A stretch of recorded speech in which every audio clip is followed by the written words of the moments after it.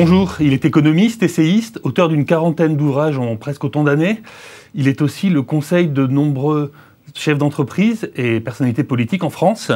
Depuis 2011, il préside également le conseil d'administration de la société autoroutière SANEF. Bonjour Alain Minck. Bonjour. Il y a tout juste 20 ans, en 1997, vous aviez publié un essai intitulé La mondialisation heureuse.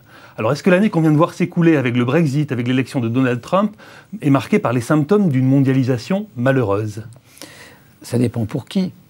Euh, la mondialisation heureuse, c'est quand même d'abord celle des centaines de millions de gens chinois, désormais indiens, pays euh, du monde en développement, euh, qui sont sortis de la pauvreté et qui ont fabriqué une immense classe moyenne. La mondialisation heureuse, elle relève aussi chez nous de la schizophrénie, c'est-à-dire l'ouvrier légitimement angoissé pour son job est le même qui, le samedi après-midi, va faire ses courses chez Carrefour et est un bénéficiaire de la mondialisation. Mais il bénéficie d'une qualité de vie, il bénéficie de la baisse du coût des produits, il bénéficie euh, de toute une série d'avantages. Alors qu'il y ait aujourd'hui un mouvement de reflux vis à -vis de la mondialisation, c'est une évidence. Le point principal, vous avez raison de citer le Brexit, cette aberration dont les Anglais vont payer le prix lourdement. Mais le vrai point principal aujourd'hui, qui est un point d'inquiétude à mon avis comme on n'en a jamais eu depuis longtemps en termes d'incertitude, c'est évidemment l'élection de Donald Trump. Je crois qu'il faut enfin dire des États-Unis ce qu'ils sont. Les États-Unis sont en train de devenir le premier pays du tiers-monde premier pays du tiers-monde, euh, je laisse de côté les GAFA, Wall Street, etc., et les grandes universités, le système américain. Un système où le financement politique est sans limite. Regardez le prix des campagnes électorales. Un système où euh, il n'y a plus de bornes dans les comportements individuels. Enfin, l'homme le plus puissant du monde est un homme qui a quand même décidé qu'il n'y avait aucune différence entre un mensonge et une vérité cette espèce d'appel euh, à la virilité qu'on retrouve dans beaucoup de pays du monde en développement. dire, les États-Unis d'aujourd'hui ne sont pas les États-Unis dont nous avons rêvé, qui nous ont sauvés. Faut voir les choses telles qu'elles sont. Alors, de quoi est-ce l'échec? C'est l'échec de 8 ans d'Obama qui était exactement. Non, ce n'est pas l'échec de 8 ans d'Obama. Je pense que le monde entier regrettera cet admirable prince noir euh, qui a fait honneur aux États-Unis et qui, d'une certaine façon, était bien mieux que ce que les États-Unis méritaient. Je crois aussi qu'il faut se rappeler une chose euh, face à l'élection de Trump. Il a perdu démocratiquement. Oui, non, mais non, non, non, non, non, mais il a le pouvoir, c'est la Constitution, c'est la règle. Mais dans l'analyse politique, il faut toujours avoir ça en tête. Donald Trump se conduit comme si un tsunami électoral lui avait donné plus de 60% de voix des Américains. C'est clairement pas le cas. C'est clairement pas le cas. Imaginez que finalement 70 000 électeurs aient voté différemment dans le Michigan ou le Wisconsin, on aurait dit quoi? Comme on l'a dit en Autriche, halte à la vague populiste, puisqu'il aurait été battu. Donc il faut voir ça avec relativisme. Reste qu'on a pour la première fois quelqu'un qui génère de l'incertitude dans la fonction qui était supposée générer de la certitude. Et qu'est-ce que vous attendez de, cette élection et du fait qu'il soit élu et qu'il prenne le pouvoir dans quelques jours? Qu'est-ce que j'attends? Que on espérait tous qu'après une période cynique, il deviendrait raisonnable. Quand on lit ce roman fleuve des tweets, ce n'est pas le cas. Alors où sont les risques? Pas tellement avec la Russie, froid deal, une forme de deal d'autoritaire ou de mafieux, entre guillemets. Je ne veux pas dire mafieux. Bon, avec la Chine, ce sera un bras de fer.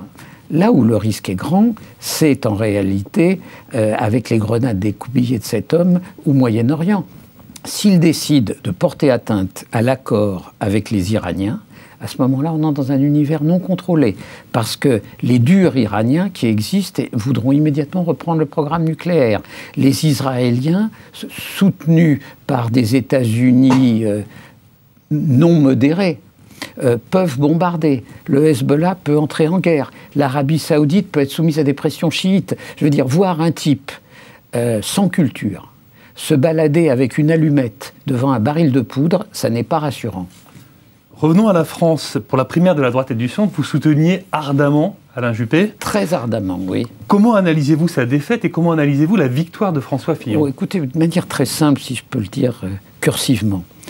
Euh, nous avions tous cru, ou beaucoup d'entre nous, moi le premier, qu'il y avait en France des riches, on le sait, euh, des bobos, on en voit partout, des pauvres, malheureusement il y en a beaucoup, et des beurs. On avait oublié qu'il y avait une classe sociale qui s'appelle la bourgeoisie. Et la bourgeoisie a élu François Fillon à la primaire.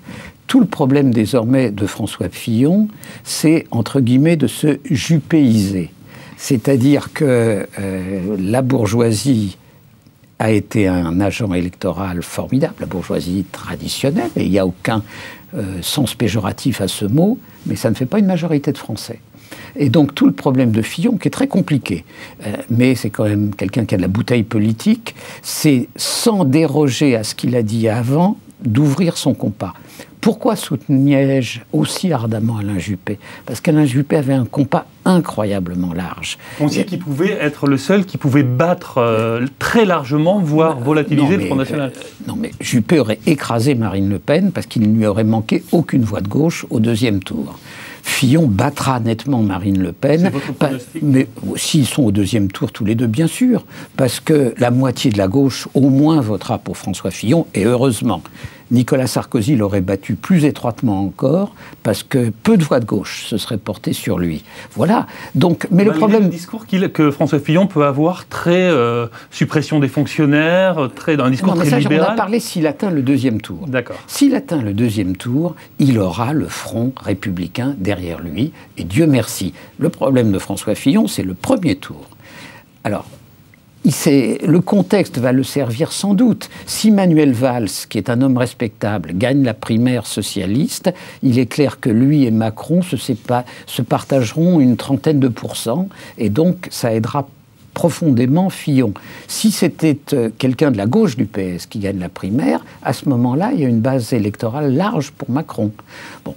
À la fin des fins, je pense que François Fillon sera élu président de la République, mais ça ne sera pas un chemin de rose. Pas tant parce que les socialistes adeptes de la rose le lui auront rendu difficile, mais parce que maintenant, il faut qu'il franchisse la marche d'une forme d'unanimité. Et aujourd'hui, qui auriez-vous envie de soutenir? Est-ce qu'il y a quelqu'un que vous soutenez ardemment ou vous auriez envie de soutenir ardemment, dans le paysage Ardemment, personne. Euh, au deuxième tour, tout le monde contre Marine Le Pen. Euh, je ne sais pas encore. Euh, je pense, j'hésiterai sans doute entre François Fillon et, et, Emmanuel Macron. Dans aucun des cas, vous ne croyez à une victoire de Marine Le Pen en 2017 En 2017, non, en aucun cas.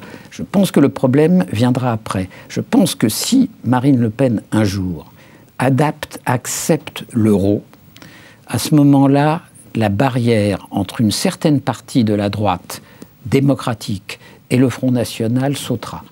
Euh, mais aussi longtemps qu'elle sera sur sa politique économique nationale communiste, je pense qu'il y a, Dieu merci, aucune chance qu'elle atteigne le pouvoir. Merci beaucoup Alain Minck.